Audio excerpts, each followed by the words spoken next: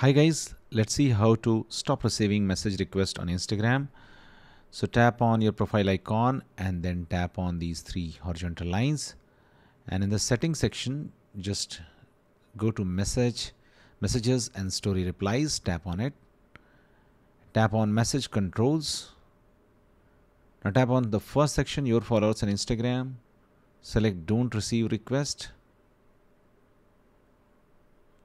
Now go back others on Instagram. If you want to turn this off too, just select don't receive request.